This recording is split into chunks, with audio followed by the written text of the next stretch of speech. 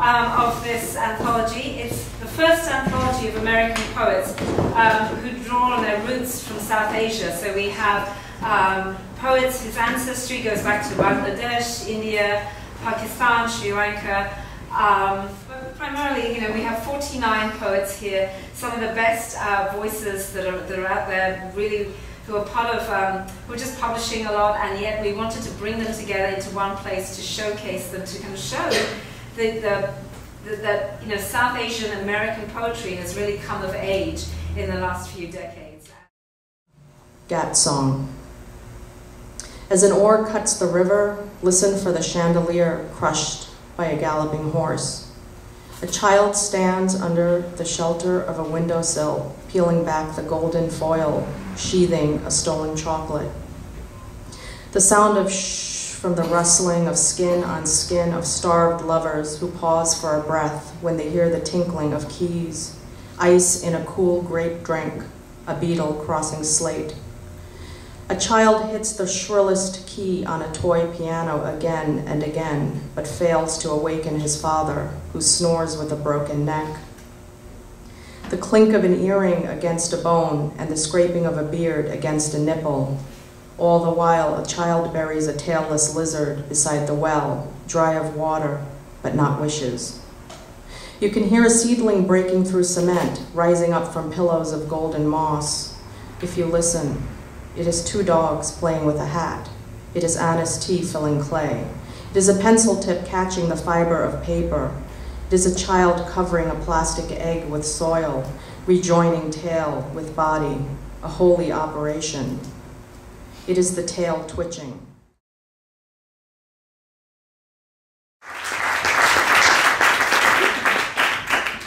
When I was a child, there was this lady who cooked in our house. The name was Viso. And for a long time I thought she was part of our family, like my someone related to my mother. Because as like any kids do, I got slapped around by her for stealing food while she was cooking. So years later, I, I thought about this woman and I, I was trying to figure out why she spent an entire lifetime in someone else's house cooking and I imagine her as a bad karma girl. This poem is about her. A monsoon night, the moon curls into the seventh house. You are yanked like a weed, wet and cold. A howl fills you with dark water. You burst, holler a lung full of hurt. They said that there is no cure for bad luck. They said it is the will of the planets. They had the time of your birth inked on a dead scroll like a life sentence. You walk on shadows, two steps behind the rest. You bathe in the moonlight humming lullabies to the lilies. You unleash the cumin, color onions with saffron, cajole the brinjal to fornicate with the tamarind. Talk of your wicked fry splatters across the bazaar like mustard seed on broiled oil. Behind the kitchen curtain, unseen like the suit, you become the legend of Noah. Thank you very much.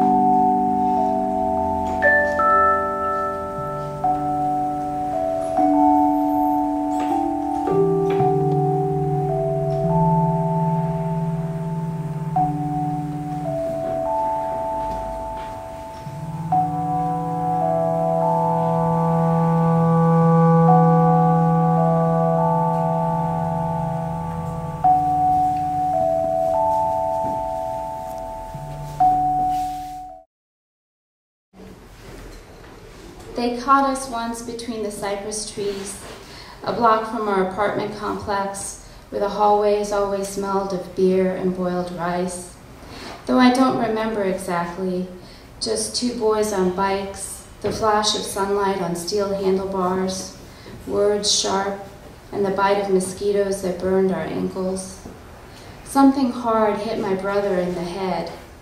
A red bindi in the center of the forehead like a rose, like the ones I saw my mother wear, but his bled down his face.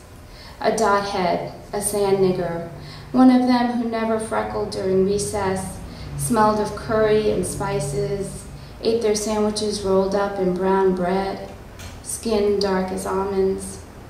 Except they got it wrong. No matter how many times they rode by, chasing us with words, with rocks and broken bottles, spitting at our backs, they got it wrong. It was a sign of being blessed after temple, of celebration when women wore them, red gold to match silver threaded saris, to match red and green glass bangles that shivered up their forearms. My brother's jagged, glittering more than a pundit's thumbprint, more than a holy mark, glittering.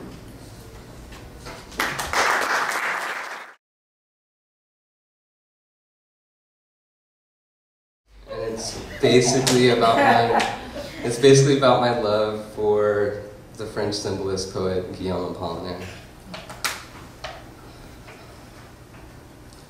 You speak of the heavenly bee, Arctur, resting fat in bed with gauze above your brows that covers the contingent wound from the war. You received the shell that split your head while reading. Before meeting you, I was young with my father on a country ranch. On a swing, they were burning the pig for lunch. Heard horny rusted snorts cornered across the field. The spit turned above the cedar fire when he pointed. Not at my falling shin, but the bee I swung into, who killed himself and clung still in my shin. Later, the pig died roasting. It was heavenly, like you are when red.